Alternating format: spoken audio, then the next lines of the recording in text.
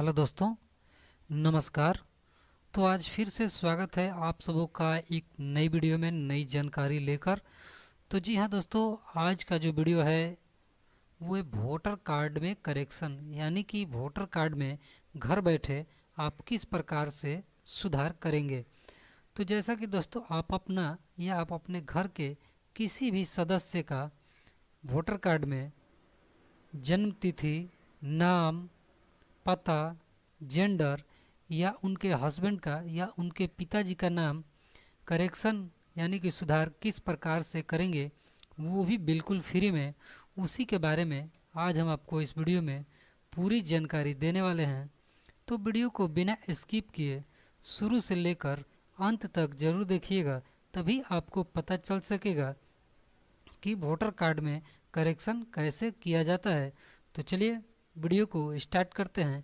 Video start करने से पहले आपसे एक छोटी सी रिक्वेस्ट है कि अगर आप हमारे चैनल पे पहली बार आए हैं तो वीडियो को लाइक कर दीजिएगा, चैनल को सब्सक्राइब कर दीजिएगा और वीडियो अच्छा लगे तो इसे शेयर भी कीजिएगा ताकि और भी लोगों को इसके बारे में जानकारी मिल सके।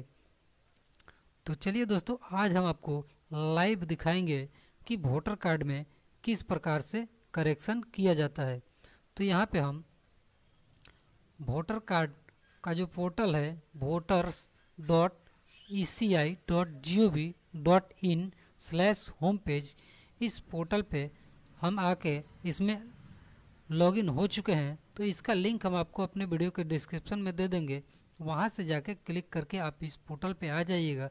पोर्टल पे आने के बाद यहाँ लॉगिन का ऑप्शन देगा। उसमें लॉगिन हो जाइएगा। लॉगिन होने के बाद यहाँ देखिए फिल फॉर्म एट इस पर आपको क्लिक कर देना है। उस पर क्लिक करने के बाद यहाँ आप अपना करना चाहते हैं या आप अपने घर के किसी भी सदस्य का तो अगर आप अपना करेक्शन करना चाहते हैं तो सेल्फ वाले पे क्लिक कीजिएगा और किसी अदर का करना चाहते हैं तो अदर वाले सेक्शन पे क्लिक कीजिएगा। फिर यहाँ उनका आपको ईपिक नंबर टाइप कर देना है। तो चलिए हम उनका ईपिक नंबर यहाँ पे फिल कर देते हैं।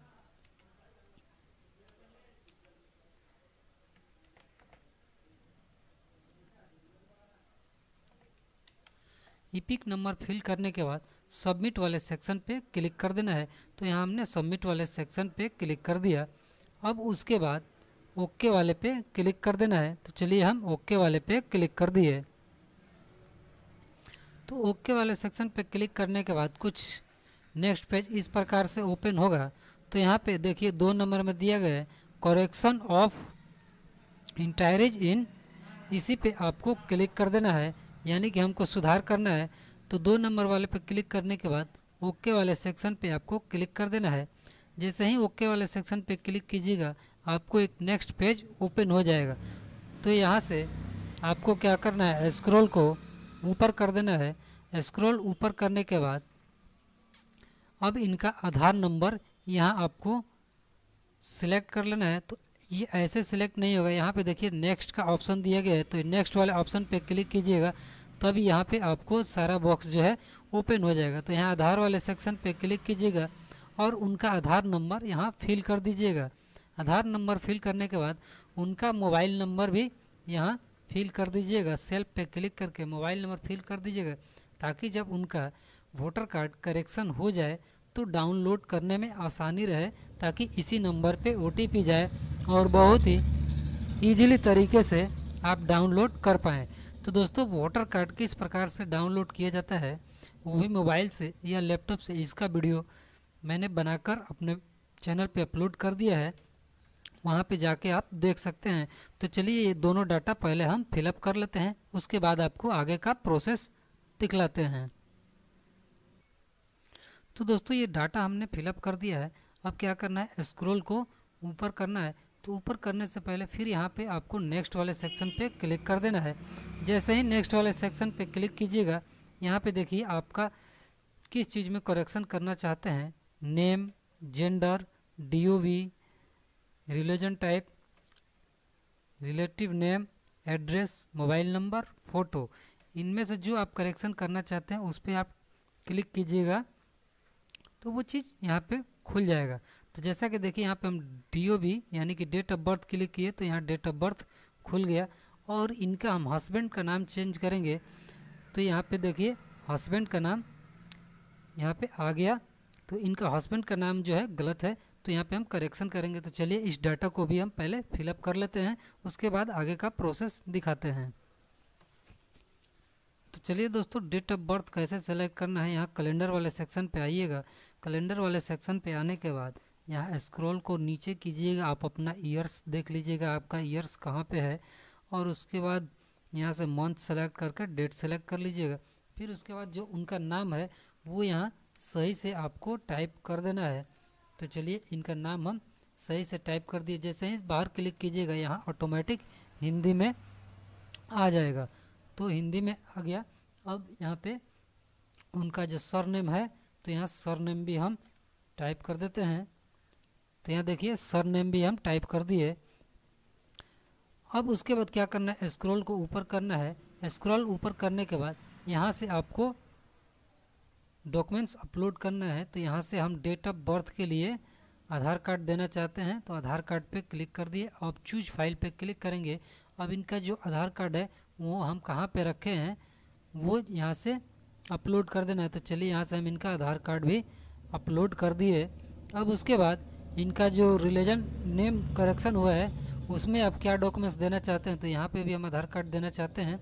अब यहाँ पे भी हम इनका आधार कार्ड को सेलेक्ट कर लिए। अब उसके बाद नेक्स्ट वाले ऑप्शन पे क्लिक कीजिएगा। तो यहाँ पे इनका प्लेस पूछा जाएगा। तो यहाँ से इनका प्लेस आपको टाइप कर देना है। प्लेस टाइप करने के बाद नेक्स्ट वाले ऑप्शन पे क्लिक कीजिएगा। तो यहाँ ये जो कैप्चा दिखाई दे रहा है, इस कैप्चा को आपको फिल कर देना है। तो चलिए हम कैप्चा को फिल कर दे रहे हैं। कैप्चा फिल करने के बाद प्रीव्यू एंड सबमिट वाले सेक्शन पे आप क्लिक कीजिएगा। तो ये देखिए, फिर से हम, हमें कैप्चा फिलअप करने को बोला जा रहा है क्योंकि बहुत लेट हो चुका है दोस्तों। तो यहाँ प्रीव्यू एंड सबमिट वाले सेक्शन पे हम क्लिक कर दिए। अब ये जो पेज जो है, यहाँ पे देख सकते हैं कि आपका डाटा जो है, जो चेंज किए हैं, वो सही है ना या गलत है? तो यहाँ से अगर गलत है तो कीप एडिटिंग पे क्लिक कीजिएगा। अगर सही है तो यहाँ सबमिट वाले ऑप्शन पे क्लिक कर दीजिएगा। तो चलिए हम पहले चेक कर लेते हैं। तो चलिए दोस्तों, मेरा सारा डाटा सही है तो यहाँ हम ओके वाले पे क्लिक कर दिए। फिर यहाँ से पूछ रहा है you are sure you want to submit this form तो यहाँ से हम सबमिट करेंगे। मैं श्योर हूँ कि मेरा सारा डाटा सही है। तो यस वाले सेक्शन पे क्लिक कर देंगे। तो यहाँ पे देखिए, इनका जो फॉर्म है रेफरेंस नंबर मिल गया है। अब इस रेफरेंस नंबर को आप लिख के दे दीजिए या डाउनलोड एक्नोलॉजमेंट स्लिप जो है, इसे डाउनलोड कर लीजिए। डाउनलोड करके आप अपने कस्टमर को प्रिंट करके दे सकते हैं। या आप अपना कर रहे हैं तो आप अपना सेव करके रख सकते हैं। ताकि जो रेफरेंस नंबर आपको मिला है तो आपको पता चल सके कि आपका जो वोटर कार्ड करेक्शन हुआ या नहीं, या कहाँ तक अभी प्रोसेस चल रहा है। तो दोस्तों, ये वीडियो आपको कैसा लगा हमारे कमेंट बॉक्स में कमेंट करके ज़रूर बताइएगा। तो चलिए मिलते हैं एक नेक्स्ट वीडियो में नेक्स्ट टॉपिक पे। तब तक के लिए जय हिंद दोस्तों।